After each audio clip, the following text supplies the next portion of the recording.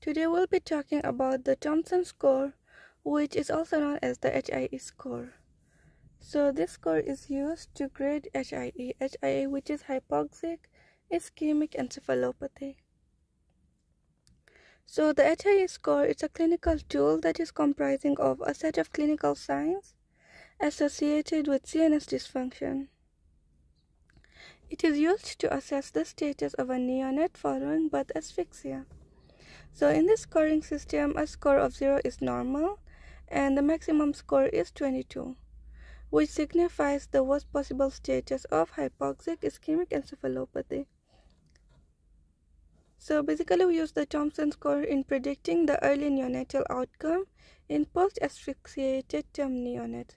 So basically neonates that have undergone birth asphyxia, we do a Thompson score to predict the possible neonat neonatal outcome, okay? So when we talk about the Thompson score, there are a total of nine parameters, which include tone, consciousness, presence of fits, posture, Moro, grasp, suck reflex, respiration, and fontanelle. So under the tone, if it's normal, that's, that gives us a score of 0. If it's hypertonic, that gives us a score of 1. If it's hypotonic, that gives us a score of 2. And if it's flaccid, that gives us a score of 3. Then consciousness, if it's normal, that's 0. If they're hyper alert or oh, with a stir, that's 1. If they're lethargic, that's 2. And if they're comatose, that is 3. Then presence of fits, if there are no fits, that's normal, so that's 0. If they're infrequent, which is less than 3 fits a day, that is 1. If they're frequent, which is more than 2 fits a day, that is 2. Then posture, if it's the usual posture, that's normal, that's 0. If they're fisting or cycling, that is 1. If they have a posture that is showing strong distal flexion, that's 2. And if they are decerebrate, which is they're just in an extended posture, that's 3.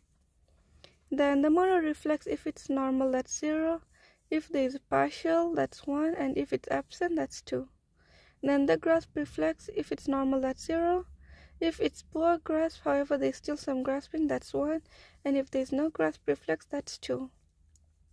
Then suck, if it's normal, that's 0. If there is a poor suck, that's 1, and if it's absent plus or minus bites, that's 2. Non respirations, if they're within the normal range, that's 0. If they're hyperventilating, that is 1. If there's episodes of brief apnea, that's 2. And if there's apnea, that's 3. Then fontanelle, the fontanelle we're talking about is the anterior fontanelle. If it's level, that's 0. If it's full but not tense, that's 1.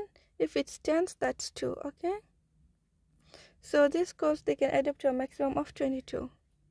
So infants that score 1 to 10, they are considered to have mild HIE. Then the one that score 11 to 14, they have got moderate HIE. And 15 to 22 are considered to have severe HIE. Then in normothermic infants, a maximum score of above, above 10 during the first 7 days of life predicts an abnormal outcome with 100% sensitivity.